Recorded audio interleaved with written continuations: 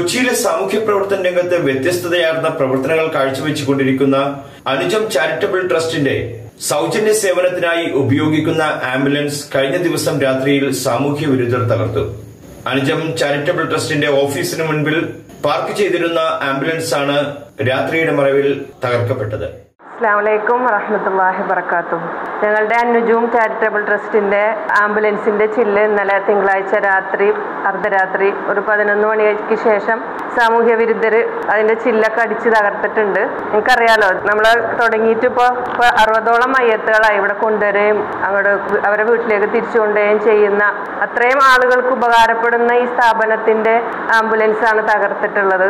അപ്പോൾ എത്രയും പെട്ടെന്ന് അത്തരം സാമൂഹ്യ വിരുദ്ധർക്കെതിരെ നടപടിയെടുക്കണമെന്ന് അപേക്ഷിക്കുകയാണ്. കാരണം എപ്പോഴാണ് ഏഹ്, മയത്ത് വരാന്ന് നമുക്കറിയില്ല. അപ്പൊ ഇപ്പൊ തന്നെ വിളി വരും. അപ്പൊ അത്രയും അർജന്റും അത്രയും എല്ലാവർക്കും ഉപകാരപ്പെടുന്ന ഈ ഒരു സ്ഥാപനത്തിന് ഇങ്ങനെ സംഭവിച്ചതിൽ വളരെയധികം പ്രയാസമുണ്ട്. അത് എല്ലാ ജനങ്ങളും ആ രൂപത്തിൽ അത് ഉൾക്കൊള്ളുകയും അതിനെതിരെ നടപടിയെടുക്കുകയും വേണം എന്ന് ഞങ്ങൾ ആഗ്രഹിക്കുകയാണ്. സൗജന്യമായി അറുപതോളം മയ്യത്തുകൾ കുളിപ്പിച്ച് സംസ്കാര ചടങ്ങുകൾക്ക് നേതൃത്വം കൊടുത്ത അനുജം ചാരിറ്റബിൾ ട്രസ്റ്റിന്റെ പ്രവർത്തനങ്ങൾക്ക് നേതൃത്വം കൊടുക്കുന്നത് സ്ത്രീജനങ്ങൾ ഒരുമിച്ച് ചേർന്നാണ്. ഇവരുടെ ആംബുലൻസ് ആണ് തകർക്കപ്പെട്ടത്. പോലീസ് ഉടൻ തന്നെ നടപടികൾ സ്വീകരിക്കണമെന്നും സാമൂഹ്യവിരുദ്ധരായ വ്യക്തികളെ കണ്ടെത്തി ശിക്ഷിക്കുവാനായിട്ടുള്ള സാഹചര്യം ഉണ്ടാകണമെന്നും ഭാരവാഹികൾ പറഞ്ഞു. കൊച്ചിയിൽ നിന്നും മറ്റൊരു വാർത്തയുമായി കാണാം. నిరంజన్ రబల్లో లైఫ్ ఇచ్చిన కుచ్చి